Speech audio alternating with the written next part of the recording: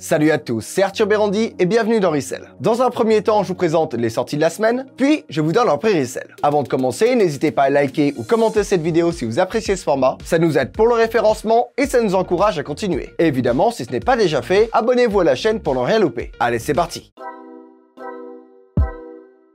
on commence avec la Dunklo Retro Armory Navy Mineral Slate. Bon, pour ceux qui connaissent pas, c'est une paire qui est déjà sortie et qui a pas mal plu. En même temps, je vous apprends rien, c'est marqué dans le nom. Car oui, pour ceux qui ne savaient pas, même si beaucoup sont au courant, le terme rétro veut dire que c'est une réédition d'une paire déjà parue. Et en général, les rétros ont pas mal de succès, surtout dans la gamme Air Jordan. En tout cas, je trouve celle-ci plutôt intéressante et beaucoup plus sombre que ce qu'on a l'habitude de voir. Après, l'hiver arrive, donc c'est pas si étonnant de voir ce genre de coloris apparaître. Elle sortira le lundi 10 octobre au prix retail de 120 euros à 9h sur asphaltgold.com. On continue avec la Dunk le Women's Peach Cream. Bon, j'ai beaucoup moins de choses à dire pour celle-ci. C'est une dunk réservée pour la jante féminine, comme son nom l'indique. Cependant, c'est possible pour les hommes avec des pieds moyens d'emporter grâce à sa taille qui va jusqu'au 44,5. Le 44,5 en woman, si vous ne saviez pas, ça équivaut à peu près à du 43,5 ou 44 en taille homme. Ça dépend de la largeur de votre pied. Donc si vous avez un pied large et que vous la voulez, prévoyez au moins une taille de plus que votre taille homme. Donc si vous faites du 43 en homme, prenez du 44 en women's. Pour le coloris, il est clair, plutôt sympa et adapté à l'automne si vous voulez mon avis. Elle sortira le mardi 11 octobre au prix retail de 110 euros à 9h sur Nike.com. On enchaîne avec la Jordan Low Women's Ice Blue, clairement la paire la plus intéressante de la semaine en termes de coloris. Aussi réservée exclusivement aux femmes comme son nom l'indique, celle-ci fait évidemment penser au coloris UNC de l'Université de Caroline du Nord où Michael Jordan a joué. La paire est simple, du bleu clair et du blanc et peut convenir aux deux sexes largement. Donc si vous êtes un homme avec des pieds moyens, tentez votre chance, car moi j'aurais bien tenté. Et là je fais du 46, ouais c'est pas facile tous les jours. Elle sortira le mercredi 12 octobre au prix retail de 120 euros à 9h sur Nike.com. On poursuit avec la Air Jordan 11 Women's Midnight Navy. Alors je suis super en colère contre cette paire, et pourtant elle m'a rien fait. Vous serez d'accord avec moi, la Air Jordan 11 est une paire géniale, très aimée, et pourtant il y en a très peu qui sortent de pertinentes. La dernière qu'on a eue c'est la Cool Grey. Et là non seulement ils nous mettent du velours de nulle part sur la paire, mais en plus c'est une Women's. C'est-à-dire que pour la Air Jordan masculine par excellence, on va pas pouvoir avoir notre taille si on a des grands pieds? Non, ça rend fou. Ils veulent pas ressortir la Concorde plutôt que ça elle sortira le vendredi 14 octobre au prix retail de 210 euros à 9h sur SNKRS. On continue avec la NMD S1 White. Alors oui, reste in peace la NMD S1, toi qui avais tant de potentiel. Va savoir pourquoi, mais malgré toute la hype autour des premiers coloris, Adidas n'a pas réussi à surfer sur ce modèle et c'est bien dommage.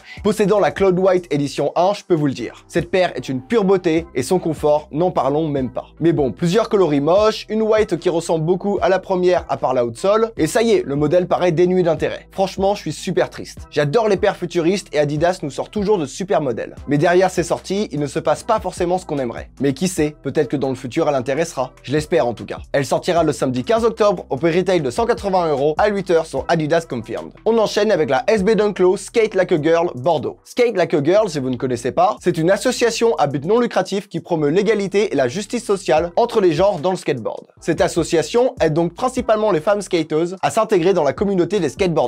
Concernant la paire, elle est vraiment pas mal. On y voit du daim blanc cassé et du bordeaux, du velours côtelé sur la languette et le swoosh, mais également un dessin brodé de poignée de main sur le talon, ainsi qu'un Nike brodé de manière plus street que d'habitude. Elle sortira le samedi 15 octobre au prix retail de 120 euros à 9h sur SNKRS. Enfin, on termine avec la Dunk Women's Dark Driftwood. Encore une dunk bien automne, bien hiver. Aussi destinée à la jante féminine, cette dunk fait penser à une balade dans la forêt ou à un bûcheron qui coupe du bois. En même temps, il y a le mot wood dedans. Donc je pense que j'ai un bon instinct en disant Quoi? Vous pensez que je meuble encore car j'ai rien à dire sur cette paire? Bon ok, j'avoue cette fois. Mais en même temps, qu'est-ce que vous voulez que je vous dise de plus? Ah oui, le swoosh est noir C'est noir, c'est noir, c'est noir, comme dirait Benzema. Elle sortira le lundi 17 octobre au prix retail de 110 euros à 9h sur Nike.com. Allez, assez parlé de sortie, sort ton portefeuille, c'est l'heure des celle du lab.